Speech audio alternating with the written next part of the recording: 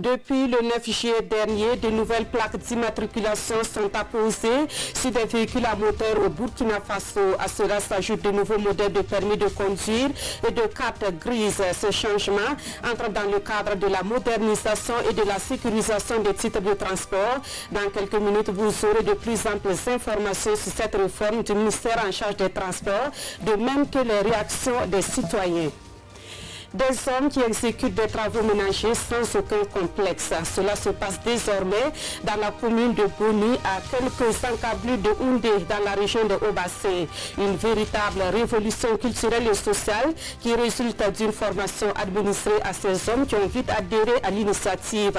On les appelle les maris modèles et nous les verrons à l'œuvre dans le dossier de ce journal. Et puis en Afrique du Sud, Cyril Ramaphosa remporte une nouvelle bataille judiciaire. Un tribunal de Pretoria décide de suspendre une ordonnance de la médiatrice sud-africaine qui aurait pu entraîner une procédure de censure au Parlement. Cette bataille judiciaire rapporte sur un rapport accablant qui accuse le président de mensonge lors de la campagne pour l'élection à la présidence de l'ANC. Mesdames, Messieurs, bonsoir. Merci de nous suivre. Nous commençons ce journal par les nouvelles du séjour au Burkina Faso du directeur exécutif du programme alimentaire mondial. Hier, dans la soirée, il a été reçu en audience par le Premier ministre. L'entretien entre les deux sommes apporté sur le soutien que le PAM compte apporter au Burkina Faso en matière d'éducation et d'alimentation. Le compte rendu avec Césaire Carrefour et Adama Koulibaly. Le programme alimentaire mondial PAM renouvelle sa disponibilité à accompagner le Burkina Faso. C'est l'information principale qui a été donnée au chef de gouvernement par son directeur exécutif David Bisley. Nous échangeons sur comment est-ce que nous pouvons faire en sorte que nous avons euh, une situation meilleure pour le Burkina Faso. Donc c'est pour l'alimentation scolaire, le soutien aux petits, aux petits agriculteurs, beaucoup plus de soutien et d'appui sur les questions de la nutrition. Il y a beaucoup de complexité dans la partie nord du pays et ça c'est très difficile, mais nous allons travailler pour répondre à ces questions-là, mais pas simplement il faudrait qu'on travaille un peu plus dans tout le pays. Votre pays a un leadership qui est très engagé, qui voudrait soutenir, qui voudrait voir avancer des choses. Nous allons faire des progrès et c'est ce que nous sommes en train de voir. Durant son séjour de 72 heures, le directeur exécutif du PAM prévoit échanger avec plusieurs autorités burkinabées. Il effectuera également une visite de terrain dans la région du centre-nord pour toucher du doigt les réalités sur les questions alimentaires et nutritionnelles.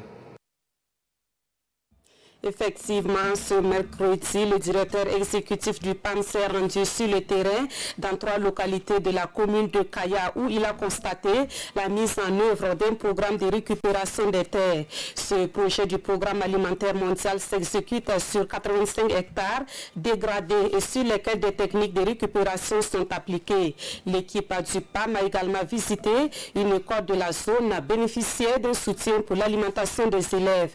Le point avec Et Ismaël Ladiloma Sirima. Autrefois, ces terres étaient délaissées car impraticables pour l'agriculture. Mais aujourd'hui, grâce au programme alimentaire mondial, les populations de Bissiguin et de Napalguin dans le San Matenga manifestent leur joie de pouvoir faire pousser des semences sur ce sol qu'ils jugeaient aride. Deux techniques de récupération des sols sont appliquées ici.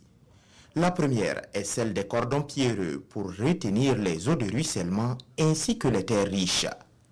La seconde technique est celle des demi-lunes qui vise à procurer de l'humidité aux semis. Il y a beaucoup de difficultés qui sont là autour, mais on doit continuer de travailler. Et ce que nous voyons, en plus de cela, c'est le fait que quand il y a eu des déplacés aussi, ces déplacés ont eu la chance d'avoir quelque part où ils pouvaient travailler. Plus de 1100 personnes se sont donné la main pour la récupération de ces 85 hectares de terre. Le programme alimentaire mondial a injecté dans ce processus plus de 38 millions de francs CFA. Grâce à ce programme, les agriculteurs d'ici savent maintenant qu'on peut produire sur des terres usées arides.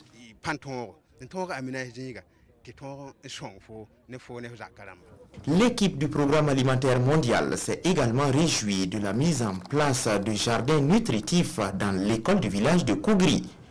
Une action qui devrait permettre aux pensionnaires de cet établissement de recevoir des aliments de qualité à travers leur cantine scolaire.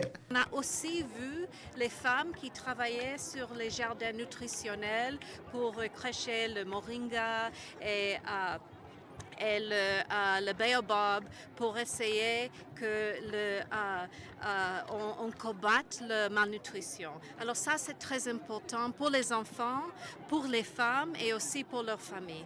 À noter que l'ensemble des actions du programme alimentaire mondial dans cette localité sont tournées également vers les déplacés internes. Ils sont impliqués dans tous les programmes entrepris par le PAM dans la région du centre-nord. Autre point de l'actualité, vous l'avez certainement constaté depuis quelque temps, des véhicules qui portent de nouveaux modèles d'immatriculation au Burkina Faso. C'est le résultat de la phase d'essai d'un projet de modernisation et de sécurisation des titres de transport. Pour vous permettre d'avoir de plus amples informations sur cette réforme, le ministre en charge des Transports a animé une conférence de presse ce mercredi. Des détails avec Ali Doubadzini et Nyarkiteda. Plus de 2 millions de motos et environ 400 000 véhicules, tout transport confondu, sont mis en circulation au Burkina. Et désormais, pour tous ces véhicules, il va falloir se conformer à la nouvelle donne en matière d'immatriculation et de cartes grises. Le dispositif d'identification mis en place depuis 1995 à la Direction générale des transports terrestres et maritimes est débordé, voire bloqué, et ne répond plus aux attentes des acteurs du transport, d'où ces réformes qui répondent à des obligations majeures, techniques et sécuritaires. Le système sécurité l'exigeait, le système technique le commandait impérieusement. Et c'est ça que je voudrais que les gens retiennent.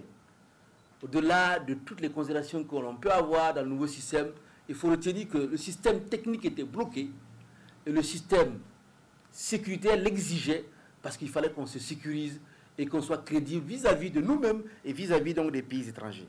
En clair, ces réformes conduisent à un changement des cartes grises, mais aussi surtout les immatriculations. Aucun usager n'est épargné, l'administration publique dans sa globalité, les ambassades et missions diplomatiques, les véhicules des particuliers, quelle que soit la catégorie, ainsi que les motos, ont tous de nouvelles immatriculations. Les immatriculations sont dorénavant faites selon les régions et non par province.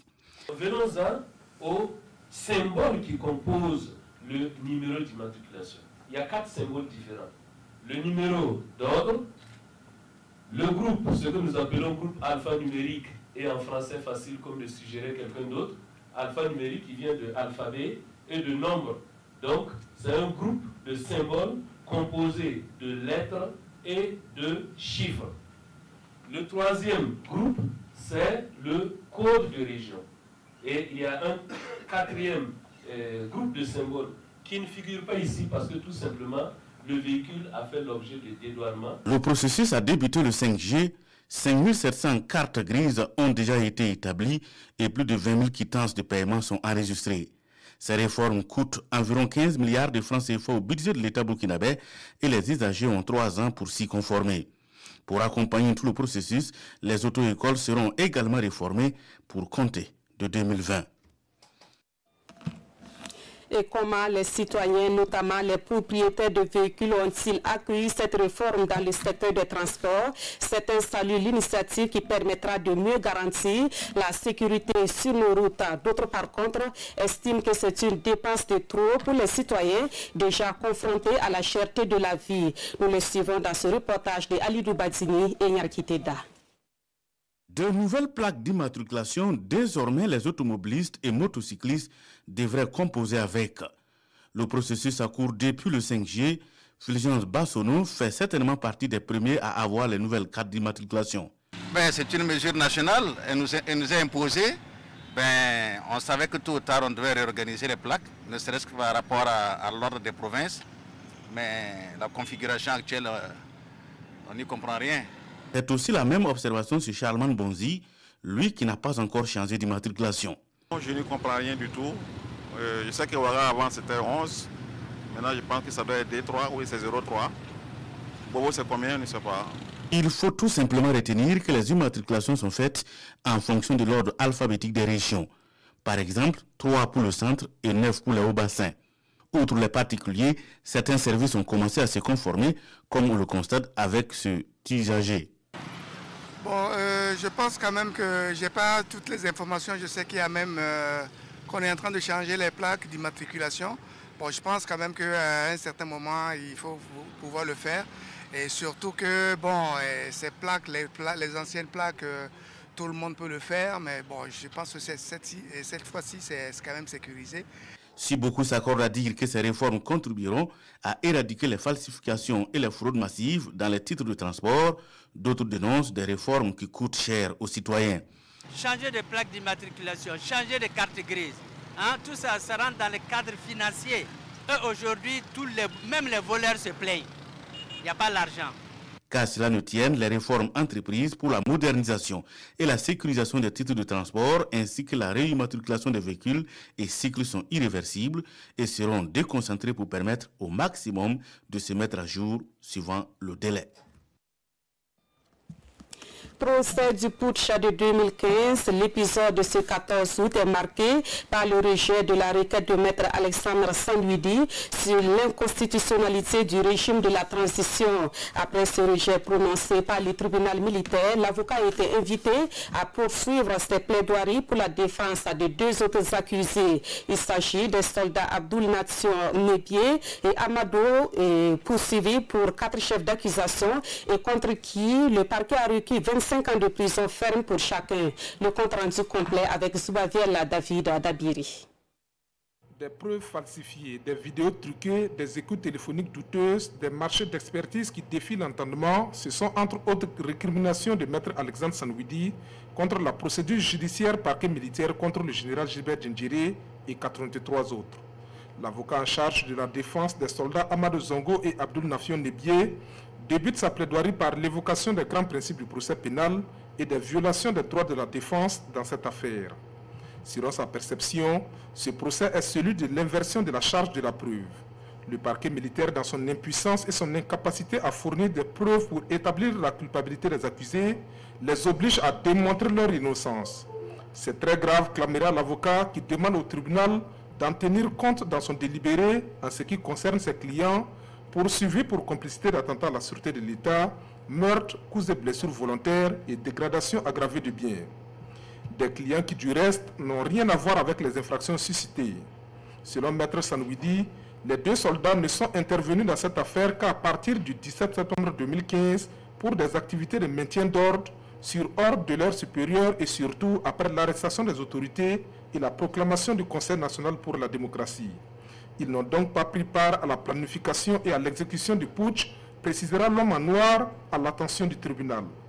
Reprenant certains pans des réquisitions du parquet militaire, l'avocat soutient que les propositions de 25 ans de prison ferme à l'encontre de chacun de ses clients ne tiennent qu'à de supposés renseignements qu'ils auraient fournis aux putschistes pour consolider leur action. Encore une fois, c'est faux, c'est une histoire créée de toutes pièces. Aucune pièce du dossier ne le démontre, explique l'avocat, qui estime que les parquetiers ont pris ces réquisitions juste parce qu'ils ont une idée préconçue de ces deux soldats déjà condamnés dans l'affaire pour direct de Yimdi et décrits par certains officiers comme des insoumis. Il demande donc l'acquittement de ses clients pour infractions non constituées. C'est aussi le lieu pour Maître Sanouidi de plaider pour la réconciliation nationale et d'appeler le tribunal à aller dans ce sens à travers le verdict. Appelé à la barre, les deux soldats chargent certains officiers de l'ex-respect et demandent la clémence du tribunal. Ils ont aussi souhaité un repos paisible à l'âme des disparus et un prompt rétablissement aux blessés des événements de septembre 2015. L'audience reprend ce vendredi 16 août 2019 à 9h au tribunal militaire de Ouagadougou. Parlons à présent de cette opportunité qui s'offre aux professionnels de, la presse burkinabé d'acquérir des logements. Il s'agit de logements sociaux qui seront réalisés pour la première tranche à Bassenco dans la région du centre avec le soutien du ministère de l'Habitat et de l'Urbanisme. Ce ministère et la coopérative d'habitation des journalistes et communicateurs ont signé une convention qui marque la matérialisation du processus. Issa Kafando et Adama Koulibaly. Cet acte scelle une convention entre le ministère de l'Habitat et de l'Urbanisme et la coopérative d'habitation des journalistes et communicateurs de Burkina. Cette convention va ainsi permettre de réaliser des logements sociaux au profit des journalistes et communicateurs. Il s'agit donc à travers cette initiative de favoriser l'accès de cette couche socio-professionnelle à un habitat décent et à moindre coût. Pour accéder à un logement, être membre, pouvoir démontrer que vous êtes journaliste ou communicateur, que ce soit du privé ou du public, peu importe, et que vous puissiez également pouvoir avoir un apport euh, personnel euh, pour aller dans l'acquisition du euh, logement. Donc il y a plusieurs modes d'acquisition. Il y a le mode d'acquisition direct qui est, par exemple, si vous avez du cash, que vous puissiez pouvoir contribuer pour qu'on puisse construire votre logement. Si vous avez aussi un accompagnement avec des institutions bancaires, euh, cela s'entend, ou un autre mode qui est peut-être euh, l'allocation-vente, son prix est fixé à 7 500 Le ministère en charge de l'habitat accompagne ce projet qui vient renforcer le programme national de construction de logements. Le ministère de l'urbanisme et de l'habitat va accompagner la coopérative en termes de fourniture de parcelles, en termes d'encadrement sur le plan des services techniques et de suivi des travaux donc, qui seront exécutés. Nous allons également, au niveau des institutions bancaires, apporter notre appui pour que le financement soit mis en place de manière à ce que dans un très court délai, on puisse inaugurer ce que j'appellerais cette première tranche de la cité de la liberté. Selon cette première convention, ce sont 50 logements sociaux qui seront réalisés sur le site de Basenko. Nous mettons à présent le cap sur la région de l'Est pour parler une fois de plus de la commémoration du centenaire de la Haute-Volta actuelle Burkina Faso, de la création de la Haute-Volta à la construction de l'État-nation burkinabé. C'est autour de ce thème que l'événement historique a été commémoré à Fadan Gourma. D'autres thèmes d'actualité se sont invités aux échanges, dont voici le résumé avec Justin Tsenderbego, Joël Tendambiga et Ibrahim Sanou. 100 ans après la création de la Haute-Volta actuelle Burkina Faso, ces acteurs font le point de notre passé en commun et en particulier celui de la région de l'Est. Ils veulent ainsi s'inspirer du passé pour mieux préparer l'avenir. 100 ans, c'est important dans la vie d'une nation. Le gouvernement a prescrit le, le comité d'organisation d'organiser des conférences dans toutes les régions. C'est pour permettre de prendre conscience de euh, la création de ce territoire qui est le cadre territorial de réalisation de l'État-nation. Les deux panélistes du jour se sont focalisés sur les vicissitudes de la politique coloniale, sur la culture et la cohésion sociale. Le Gourmand était rattaché au Dahomey. Et après, on l'a rattaché au, au Sénégal, au Niger. Ensuite, le Gourmand était rattaché à la Haute-Volta, à sa création. Depuis 1892, il y a les deux familles euh, royales que les Européens ont utilisées pour opposer les uns les autres. La conférence de ce matin a donné des orientations pour que ce triste passé, l'ensemble des gens euh, qui sont euh, chargés, euh, incarner l'ensemble des vertus de cette région dans le domaine de la tradition, de la coutume, du politique, du social et tout ça, puissent vraiment prendre conscience et se dire qu'il est temps que nous nous tenons les mains. Ce devoir de mémoire participera sans doute à consolider les ciments de la cohésion sociale dans la région. Et c'est à travers ces crosses populaires que les participants ont arpenté le principal artère de la ville de Fadangourma plus tôt dans la matinée. Dans la région du Nord, l'Office national de l'eau et de l'assainissement s'engage à résoudre le problème d'accès à l'eau potable à Awayuguya et à Sénégal. C'est un vieux projet qui va enfin se concrétiser grâce au soutien de l'Agence française de développement. Les acteurs impliqués dans sa mise en œuvre se sont retrouvés à Awayuguya pour valider le projet pour lequel une étude de faisabilité est déjà bouclée. Plus de précisions avec Issoufou Kabouré et Moussaki. 25 milliards de francs CFA pour pallier le manque d'eau potable dans les villes de Waïouia de Séguénéga. L'information émane ici du cabinet LGI. Une structure qui a mené l'étude pour l'approvisionnement en eau potable de ces localités à partir du barrage de Giti à une cinquantaine de kilomètres à l'est de Waiguya. Le rapport de l'étude technique est ici projeté pour validation à travers cet atelier. L'étude va nous dire qu'est-ce qu'il faut faire pour que ce soit un guide pour l'ensemble des acteurs? Qui doivent mettre en œuvre le projet-là. C'est leur guide. Ils vont regarder par rapport à ce qui est prévu pour d'abord faire leur offre et puis réaliser conformément à ce que effectivement l'étude aurait préconisé. L'étude comprend deux composantes, le système de traitement des refoulements d'eau dans les localités et sa distribution. Le projet consiste à récupérer l'eau donc depuis le barrage de Guiti, l'eau brute, de la traiter, de la pomper vers les centres urbains et de la distribuer. La ville de Waiguia est confrontée à un déficit de 1500 m3 d'eau par jour, relève le maire. La distribution alternée de l'eau potable est l'une des solutions pendant les périodes dites chaudes. La validation du rapport de l'étude et sa mise en œuvre constitue donc une véritable source d'espoir. C'est un projet qui a démarré depuis 2004. Donc vous savez que ça fait 15 ans. Cet atelier va pouvoir nous permettre en tout cas de commencer et à espérer que euh, d'ici euh, très bientôt, le problème donc euh, de l'approvisionnement en eau potable de la ville d'Oyuga sera réglé. Le projet d'approvisionnement en eau potable est financé par l'Agence française de développement. Durant deux jours, ces acteurs vont s'accorder sur les différents points de l'étude pour que le document soit un référentiel dans la mise en œuvre du dit projet. Et quand l'accès à l'eau potable sera une réalité dans ces localités, peut-être que les hommes vont les fréquenter dans le sens de soutenir leurs femmes dans les tâches ménagères. En attendant, c'est déjà le cas à Bouni, dans la commune de Houndé, où des hommes s'affairent quotidiennement pour les travaux ménagers sans aucun complexe. Et parlant de ces maris modèles, c'est une véritable révolution culturelle et sociale expliquée dans ce dossier signé Manikayem et Kaduro Memki. Camarades, les mauvais maris. Les mauvais maris. Et en avant, les maris modèles. Modèles parce qu'ils ont décidé de transcender certains préjugés socio-culturels.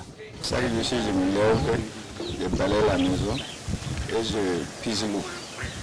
Ensuite, je lave les enfants aussi. Si les femmes sont occupées, je travaille le reste. Si quelqu'un te dit que ce n'est pas un travail d'homme, c'est parce qu'il n'a pas suivi la formation. Conseille seulement de faire la même chose pour sa femme. Il comprendra l'intérêt. La femme n'est pas une esclave. L'homme doit l'aider dans les tâches ménagères. Un changement de comportement qui apporte son grain de sel à l'ambiance familiale. Ça a apporté beaucoup de changements dans ma famille. Des fois, on ne s'entendait pas. Maintenant, on s'entend bien. Il y a eu un profond changement. Le matin, pendant que je balais la cour, lui, il allume le feu pour réchauffer la sauce. Avant la formation, voilà, les vieux et puis moi, on était un peu distants. On était un peu distants, voilà. Et je vais dire que non, on n'était pas, voilà, on ne s'en pas beaucoup sur la famille, quoi. Voilà, mais aujourd'hui, bon, voilà, ça a beaucoup changé. Dans la commune rurale de Boni, voir un homme puiser de l'eau, laver les enfants, faire la cuisine, faire la vaisselle ou balayer la cour est devenu monnaie courante. Une révolution socioculturelle à mettre à l'actif d'un projet piloté dans la localité. Marceline Bondé est victime de violences faites aux femmes et c'est à cœur joie qu'elle accueille une telle métamorphose de la jante masculine à Boni. Je souhaite la bienvenue au projet parce que, comme dans l'école des mariés, nous avons vu un terme sur la violence. Mais comme moi aussi j'ai été victime de la violence, mon mari m'a frappé jusqu'à casser la hanche. Donc c'est quelque chose que eh, nous avons mis en position dans notre communauté dans nos, dans nos activités pour que les hommes cessent à faire la violence car la violence est très mauvaise. Le projet s'inscrit dans une approche genre afin de mieux impliquer les hommes dans la santé maternelle, néonatale et infantile. parlant de mari modèle, on, on en voit, puisqu'on a constaté qu'il y a des hommes qui accompagnent leurs femmes au niveau du centre de santé. C'est une bonne chose parce que ça permet euh, à la population de comprendre ce que nous faisons au CSPS, surtout au niveau des femmes enceintes. Hein. Voilà, les maris aussi, et aussi ça leur permet de comprendre certaines choses par rapport généralement à la planification familiale, puisque c'est à ce niveau que les maris sont réticents. Conscients du bien fondé d'un tel changement, les maris modèles de Boni sont déterminés à faire tâche d'huile auprès des autres hommes mariés. Ils s'engagent également à sensibiliser les jeunes garçons pour qu'ils intègrent ces attitudes dans leur vie quotidienne afin d'être à leur tour des maris exemplaires. C'est ce que nous souhaitons de tout cœur. En actualité sportive, nous évoquons le 32e Tour du Faso qui se pointe à l'horizon. Nous sommes à moins de trois mois du premier coup de pédale et le comité d'organisation dévoile le parcours de l'édition 2019. C'était ce matin lors d'une conférence de presse animée au ministère des Sports et des Loisirs. Le compte rendu de la Sina Sawadougou. À 70 jours du début de la grande boucle, le Tour du Faso 32e du genre se dévoile.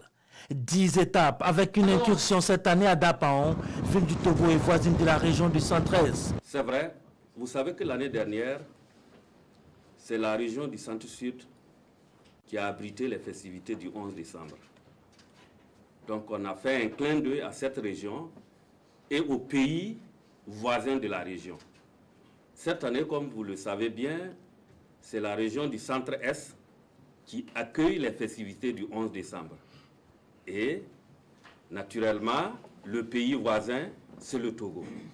On a estimé qu'il fallait aussi faire un clin d'œil à ce pays frère en allant à Dapon. Le Tour du Faso 2019 s'ouvrira avec un contre-la-montre dans la ville de Ouagadougou. 12 villes, 10 régions du pays vont recevoir la caravane, dont la ville de Sendou au lieu de Banfora. Et pourquoi Sendou et pourquoi venir laisser le chef-lieu de région? Et Pour mémoire, l'année surpassée, nous étions à Banfora. L'année passée, nous n'avons même pas fait les, on va dire les cascades. Et cette année, on y repart, mais en tentant de varianter. Parce que sachez qu'il y a trop de demandes. Il y a trop de demandes. Chacun demande pourquoi est-ce que le tour ne passe pas cette année ici. Chacun demande pourquoi est-ce que nous n'avons pas mérité d'accueillir le tout. C'est pour cela que, en tout cas, à chaque édition, il y a une base de données qui est là et nous tentons en tout cas de faire euh, la sélection de façon rotative afin que tout le monde soit satisfait. Le plus grand tour du continent africain attire et le comité d'organisation est à pied d'eau pour réussir le pari. Sont attendus des équipes des quatre coins du monde. La 32e édition, c'est du 25 octobre au 3 novembre prochain. Actualité à l'étranger en Afrique du Sud, Cyril de la Ramaphosa échappe à une censure du Palma. Un tribunal de Pretoria suspend l'ordonnance de la médiatrice qui aurait pu entraîner cette censure. Depuis plusieurs semaines, un rapport accablant accuse le président sud-africain de mensonge lors de la campagne pour la présidence de l'ANC en 2017. Le président sud-africain Cyril Ramaphosa a remporté une bataille judiciaire avec la décision d'un tribunal de Pretoria de suspendre une ordonnance de la médiatrice du pays qui aurait entraîné une procédure de censure au Parlement. Le chef d'État et la médiatrice de la République sud-africaine Mbuzisiwe Nkwebane bataillaient depuis plusieurs semaines à propos d'un rapport accablant qui accuse le président de mensonges lors de la campagne pour la présidence de son parti en 2017. Dans ce rapport, la médiatrice avait demandé une censure du Parlement contre le président pour avoir violé le code d'éthique. Une demande dont Cyril Ramaphosa a obtenu lundi la suspension, l'enquête de la médiatrice ayant été jugée irrévocablement biaisée. Cette dernière avait accusé le président sud-africain d'avoir trompé le Parlement de façon délibérée en répondant à une question de l'opposition sur une donation d'environ 32 000 euros faite par un groupe industriel lors de sa campagne. Ramaphosa avait affirmé que l'argent versé en 2017 était un paiement à son fils Andil pour un travail de consultant pour une entreprise de services impliquée dans de nombreux contrats publics suspects. La médiatrice a été critiquée pour son implication présumée dans la guerre au sein de l'ANC, le parti de Nelson Mandela profondément divisé entre partisans de l'ex-président Zuma et soutien de son successeur Ramaphosa. En Russie, une mystérieuse explosion s'est produite dans une base militaire. Après l'explosion, une hausse de la radioactivité a été constatée dans la zone concernée. Des experts américains soupçonnent la Russie de développer un nouveau missile nucléaire à portée illimitée.